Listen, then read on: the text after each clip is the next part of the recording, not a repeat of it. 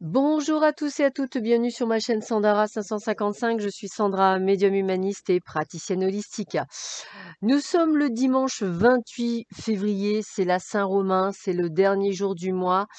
Euh, donc une bonne fête à tous les Romains. Et puis euh, la petite phrase d'aujourd'hui est de Épithète tête, excusez-moi, tête. Ce ne sont pas les choses en elles-mêmes qui ne font peur, mais l'opinion que nous avons d'elles. Je répète, ce ne sont pas les choses en elles-mêmes qui nous font peur, mais l'opinion que nous avons d'elles. Sur ces belles paroles, nous allons voir ce que cette sublime journée va nous apporter.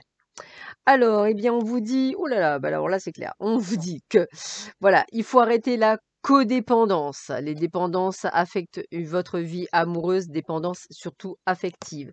Il va falloir, ça sent de la séparation dans l'air et il va falloir rester optimiste sur votre vie amoureuse. Donc, on remet les choses à plat, on remet les choses de manière à ce que ce soit en adéquation avec nous-mêmes, c'est ce que je ressens.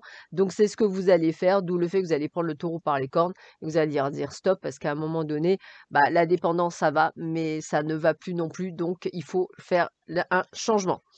On est bien dans une période effectivement d'attente. Hein. Peut-être êtes-vous pas très bien moralement aujourd'hui par rapport peut-être à des projets que vous aviez mis en place ou simplement parce que peut-être que certaines d'entre vous, mesdames, vous n'arrivez pas effectivement à avoir un bébé et peut-être que ça affecte votre morale.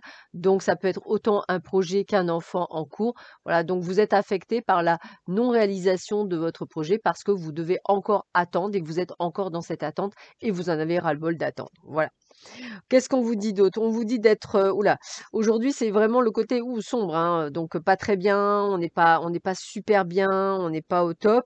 On va vous demander effectivement de faire un travail de libération et de guérison sur vous pour retrouver une forme d'équilibre. Hein. C'est comme la codépendance, il va falloir effectivement vous libérer de certaines choses pour être prête à en vivre d'autres.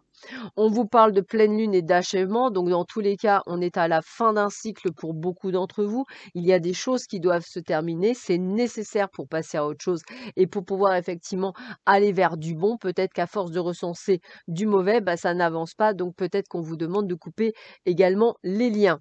On vous parle, eh ben, vous parle encore de changement, hein. vous vous transformez, libérez-vous du passé, on vous le répète, hein. accueillez la lumière et la joie de ce nouveau jour.